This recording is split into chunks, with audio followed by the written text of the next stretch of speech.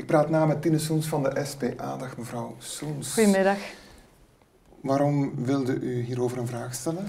Over wapenleveringen, want er zijn dit jaar en ook vorig jaar geen wapenleveringen toegelaten. Dan zou je zeggen, de vraag is zonder voorwerp.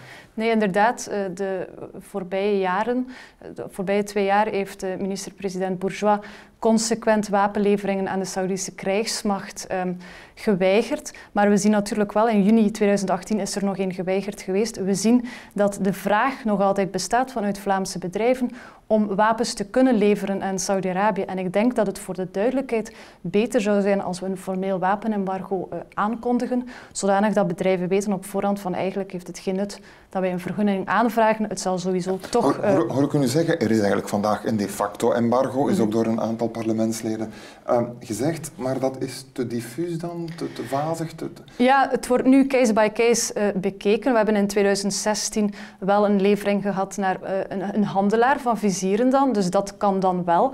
Um, en wij willen graag eigenlijk een formeel wapenembargo, zodanig dat het voor iedereen duidelijk is, vanuit Vlaanderen vertrekken er geen wapens rechtstreeks naar Saudi-Arabië.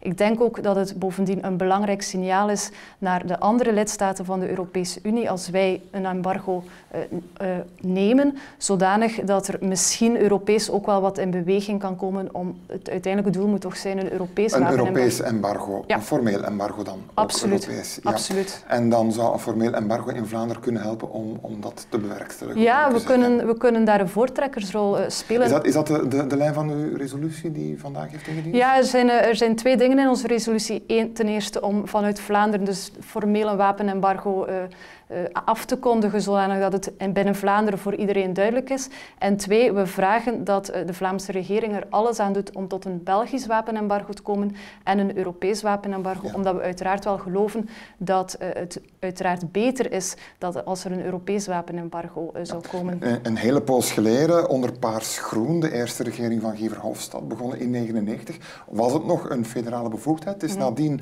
naar de gevesten gegaan, omdat er ja, men raakte daar nooit mm. uit. Hè. Er was altijd tegenstelling tussen Wallonië en, en Vlaanderen.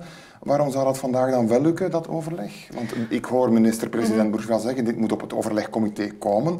Waarom zou dat nu wel resultaat kunnen Absoluut. opleveren? Het, het, moet, het moet uiteraard ook, uh, ik heb altijd gezegd... Ja, dat... dat hoor ik u wel graag zeggen, maar het is ooit geregionaliseerd omdat ja. men er nooit uit raakt. Ja, en vandaar dat Vlaanderen vandaag maatregelen kan nemen. We hebben een decreet gestemd vorig jaar, waarin er heel letterlijk staat dat Vlaanderen wapenembargo's kan opleggen. Het zou jammer zijn als we een decreet stemmen en het achteraf dan niet, uh, niet zullen gebruiken. Goed, u wil op Europees vlak ook zo'n embargo. Absoluut, dan zal ja. u onder meer Wallonië moeten meekrijgen. Absoluut. En ik vind dat we er alles moeten aan doen om uh, Wallonië in die richting ook uh, te gaan duwen. Uh, voor mij maakt het niet uit van waar die wapens komen. Ik vind wapens naar Saudi-Arabië absoluut niet oké. Okay. Of ze nu van Vlaanderen of van Wallonië of van een of ander ander Goeie land zaak dan komen. dat minister-president Bourgeois dit op het overlegcomité brengt? Ja, absoluut. Dat vind ik een zeer goede zaak. Maar ik zou natuurlijk nog liever zien dat hij ook formeel een wapenembargo afkondigt hier in Vlaanderen. Ja.